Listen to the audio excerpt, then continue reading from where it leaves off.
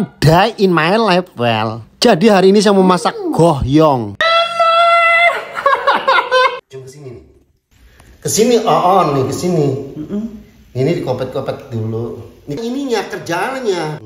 Biasa, guys. Kalau mulai kerja tuh, kameramen saya tuh pelangap-pelongo dulu. Ini saya beli udang seprapat. Ini saya beli udangnya yang keren, yang gemuk, yang gemoy. Buang semua kotor-kotorannya. Sampai cangkang-cangkangnya juga dibuang. Kepala sungutnya juga dibuang-buang juga, well. Setelah semua udah dibuang, kita cuci-cuci bersih. Masih ada aja ternyata. Nah dicuci kalau udah buntung begini, well. Dan pakai daging ayam juga. Tadi dadak beli di pasar. Dan tentunya rasanya tuh biar steril sebelum dipotong kita cuci-cuci bersih potong-potong seseset-sesetnya aja. Yang penting tuh nggak gede-gede atau tebel-tebel banget. Udang seperapat dapat berapa ya? Dapat 6 biji kayaknya atau 5 tadi. Kalau ayamnya sih beli 20 ribu. Lanjut aja digiling. Ini tuh saya masak goyong tuh semau-mau saya aja. Walaupun nggak sama persis karena bumbunya juga nggak lengkap guys. Kita pakai kembang tahu aja. Hmm, lebarnya segini. Yang penting ada minyak wijennya. Yang penting ada bawang merah, bawang putihnya. Bawang merah, bawang putih kita kepruk-kepruk aja begini sampai halus begini aja, guys. Nah, halusnya begini aja. Langsung jadiin satu aja masuk-masukin ke chopper.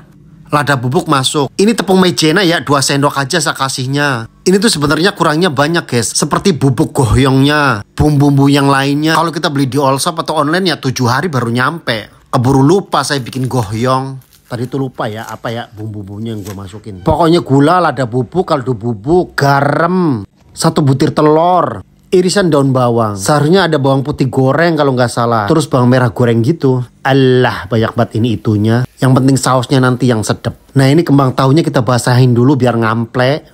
Ini sama kembang tahunya agak ngeri juga. Karena udah robek-robek begini guys. Takutnya nanti kalau udah digulung tuh kayak putus robek parah gitu. Tapi gue harus hati-hati pelan-pelan aja. Ini lagi adonan kalau dituang nggak jatuh-jatuh. Kita nggak pakai lem-leman lagi dah, langsung aja digulung. Tapi pelan-pelan guys, takut ambrat. Terus nyelos pada beol. Kan jadi amburadul banget. Nah, nah, nah, nah tuh kan. Alhamdulillah bisa guys. Ternyata prediksi yang saya bayangkan salah. Nih langsung saya oles-oles pakai minyak biar nggak lengket nanti. Gulungan goyong lalu dimasuk-masukin ke langseng, direbus sampai matang aja, guys. Sambil menunggu goyongnya matang, iris cabai ceplik kecil-kecil aja. Goyong dan matang juga.